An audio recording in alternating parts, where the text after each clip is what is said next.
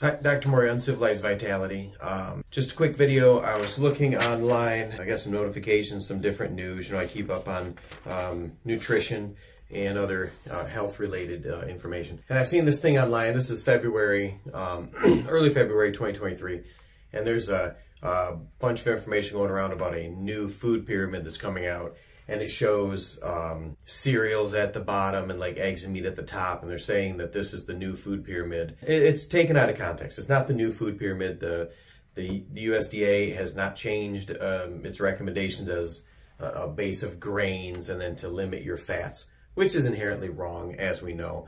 But the new food pyramid uh, and the thing that they're taking it slightly out of context and running with is that the government is now promoting the fact that like Lucky Charms is healthier for you uh, than steak. A little out of context, but um, not completely. Let me just read a little bit here. So um, they're using something called a, a, food compass rating system. A food compass is a novel food rating system developed by researchers at Tufts University. By evaluating foods across nine domains and using a unique algorithm to determine a score, we can assign food compass score, FCS, between 1 and 100, with 100, 100 being the most helpful to nearly any food.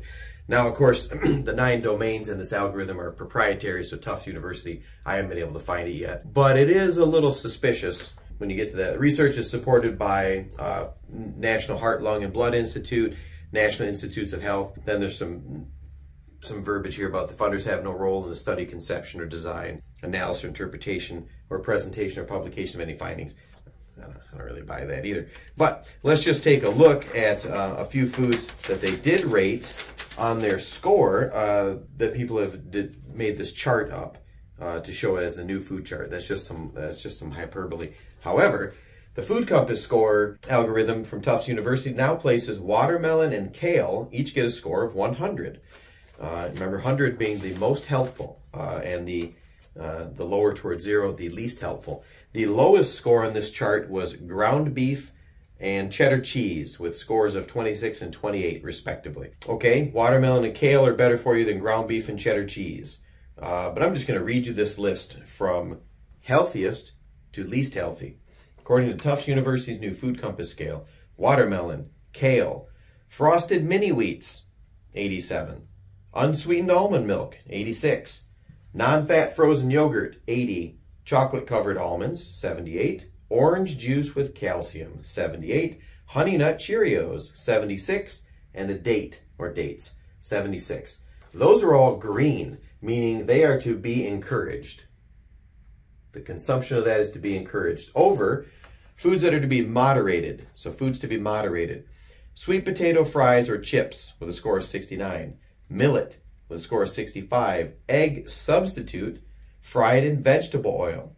Some sort of frankenfood bullshit. 62. Skinless chicken breast, 61. Lucky Charms, 60. Whole wheat bread, 60. Canned pineapple in heavy syrup, 51. Boiled or poached egg, ah, finally real food, 51. Whole milk, 49. Almond M&Ms, 43. On a personal note, that's fine with me because I like almond M&Ms. Uh, moving on. Non-fat mozzarella cheese, 42. Ice cream cone with nuts, 34. Those foods are to be moderated. Now, foods you need to minimize quickly. Whole egg fried in butter, 29. Cheddar cheese, 28. And ground beef, 26. So, um, the NIH and the National um, Heart, Lung, and Blood Institute, and uh, probably the AMA, Tufts University, are now indicating that that is their system for a food compass score to give food a rating for more healthful to least. And you see that it's uh, suspicious, uh, to say the least. I think that their nine-point algorithm, which is uh, proprietary as far as I know, can't find it, I think that includes one point of how much money we can make producing this non-food item. So um, that's coming uh, pretty quick. It's also food that is a uh, huge profit margin, uh, the, the government wants it out there. And the foods that actually produce health, we're at the, the bottom of that. So I wouldn't trust the math on that. History of the human species shows different. So very quickly, our uncivilized vitality nourishment, one of the pillars of health and happiness, has three primary principles, right?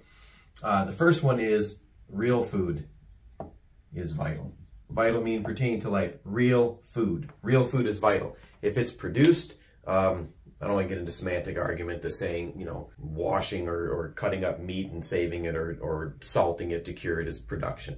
I'm talking about Pop-Tarts and uh, things that come in cans and boxes and plastic like, for instance, uh, Honey Nut Cheerios or pineapple in heavy syrup or egg substitute fried in vegetable oil. That shit's not real. Don't eat it. Second bit of advice we give you is to eat on purpose. There's a lot to unpack here, but eating on purpose would involve uh, not only uh, controlling your meal intake, but knowing what you're eating and the effects that this stuff has in your body. Is it something they've been, human beings have been eating for two, 3,000 years? Probably safe. Is it something that's only been around since the 1960s and 70s uh, and has been subject to recall and is, uh, the availability is lockstep with our, our obesity and um, diabetes and heart and cancer uh, incidents? Is that all going up at the same time? I'm not claiming causation here. I'm just saying pretty strong correlation. Start to know what you're eating. Uh, eat on purpose. Know how certain foods make you feel, certain foods, their effects on your body. And then the uh, last one um, of the primary principles is fasting. Occasionally, do not eat.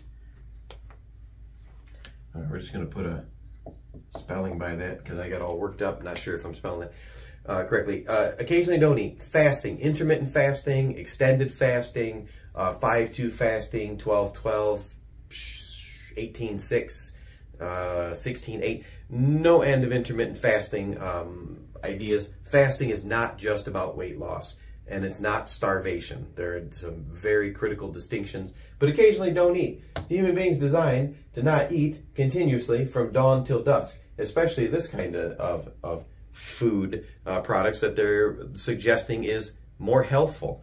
In no stretch of the imagination is a bowl of Honey Nut Cheerios more healthful for you than real eggs, butter, cheese, and beef. And it'd take you just a few minutes of internet search or, or even uh, um, talking to an elderly family member to know that beef and cheese and sour cream and more um, carnivore centric or ketogenic centric diets or even Atkins uh, do not, despite all the the uh, kerfluffle over the years, do not increase your risk of heart attacks or strokes. It just, it's better for you. So uh, leave some comments if you want to disagree with uh, me about that, but check that out. Don't get too worked up. It's not actually saying you should eat more uh, Lucky Charms than um, fruits and vegetables and grains.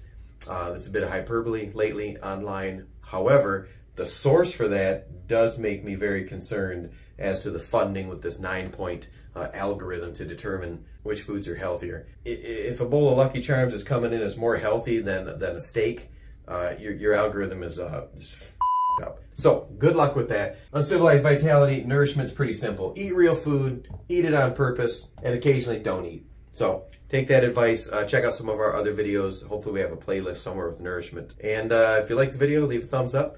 Uh, subscribe to the channel, share the channel, comment below, uh, all that YouTube stuff. All right, bye.